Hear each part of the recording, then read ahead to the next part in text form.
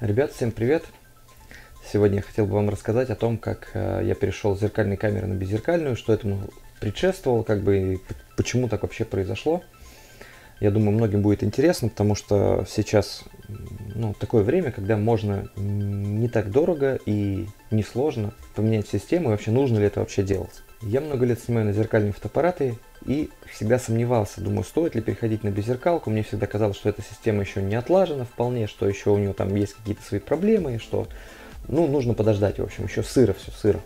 А, хотя у меня есть несколько друзей, которые перешли на беззеркалки уже много лет и всегда говорили, что это классные фотоаппараты, лучше, чем зеркалки. У них есть определенные там свои преимущества какие-то.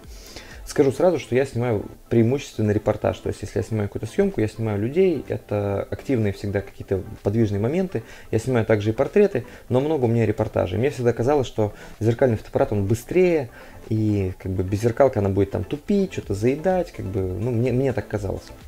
Вот, мои друзья все используют Sony, хотя я абсолютно не сторонник какой-то конкретной фирмы, то есть я не буду говорить, что там Canon лучше всех или там Sony лучше всех. Я вообще это, ну, считаю эти глупыми разговоры эти.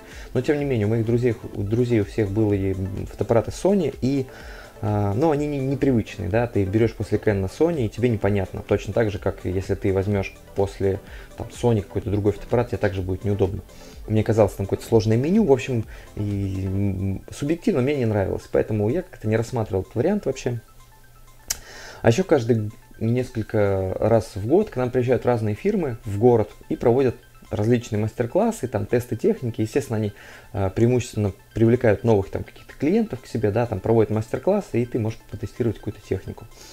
Я на такие мероприятия хожу, ну, как бы регулярно, когда они проводятся, если у меня есть возможность такая. Но тесты техники меня интересуют ну, вообще почти не интересует, потому что, ну, что можно понять там за, там, не знаю, там, за 30 минут, куча людей, в какой-то ты там комнате находишься, вообще непонятно. Ну, никогда ими особо этими тестами я не занимался, не интересовался. Э, ну, там, возьмешь в руки что-нибудь покруче, положишь, ничего не понятно. Нужно там съемку какую-то осмысленную провести, да, чтобы ты, какое-то у тебя впечатление о камере сложилось. Вот, и здесь приезжает в прошлом году к нам а, фирма Canon, со своей тоже презентацией техники и с мастер-классами. Мы решили с другом поехать на такой вот мастер-класс, вот, э, но мы не рассчитали немножко время и приехали э, раньше, чем нужно. У нас был запас времени минут 40 где-то. Ну, а в той комнате, где проходил тест техники, было немного людей, причем это была такая большая, обширная такая студия просторная, не интерьерная, а классическая такая, одна стена белая, одна черная, очень люблю такие штуки. Вот, и мы просили, взяли фотоаппарат, нам дали э, камеру, как раз беззеркальную Canon э, EOS R. Дали объектив какой-то портретный, и я решил поснимать друга. Сделал буквально несколько фотографий, там посадил его на стул возле окна, сделал несколько кадров, причем почти без дублей. Камеру не настраивал, потому что я не знал, как ее настраивать, там вообще, ну, после зеркалки она непонятная. Там какие-то режимы автофокуса, но она была настроена так, чтобы следить там по лицу или по глазу, я уже не помню. Вот, и я сделал несколько там фотографий, тут же на экране посмотрел и впечатлился. Я был впечатлен, потому что на зеркальном фотоаппарате, у меня 5D Mark III, я всегда делал несколько дублей, даже снимая портрет, на открытой диафрагме всегда снимаешь несколько дублей, потому что ты не уверен, попала ли у тебя резкость куда надо или не попала. А здесь же я увидел, что все кадры, которые я делаю, резкость там, где надо. Причем, ну, я смотрел только на экране фотоаппарата сначала, там как бы не было возможности воткнуть в компьютер. Потом выбрал наиболее удачный кадр, отметил его звездочкой прямо в камере. Э, опять же, мне понравилось то, что там дисплей, на который можно ну, нажимать прямо на сам дисплей, а не только кнопками управления. Вот, и взял фотографию друга, и мы тут же напечатали на принтере, который там был у ребят. Качество было запредельное, и мне запало в душу вот, это вот, э, вот этот момент сам того, что автофокус попадает туда, куда нужно. Причем камера была такой же по скорости, как моя третья пятерка, абсолютно ничем не отличалась.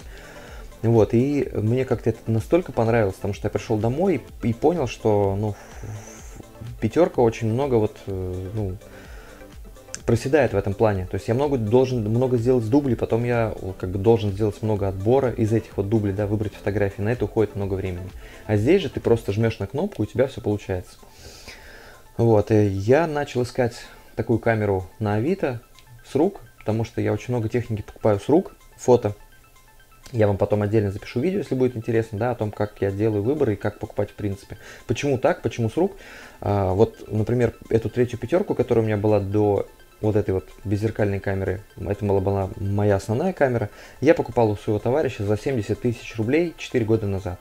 Сейчас я продал за 54 тысячи. Ну, условно говоря, я за 4 года заплатил 15 тысяч рублей за пользование этой техникой. А, то есть, если бы я покупал новый, а на тот момент она продавалась еще новой, она стоила 160 тысяч рублей. То есть, условно говоря, я потратил бы за 4 года, потерял бы 100 тысяч рублей. А здесь всего 15. Точно так же я вот купил эту камеру беззеркальную с рук, поискал на Авито, нашел приемлемый какой-то вариант для себя, вот и купил.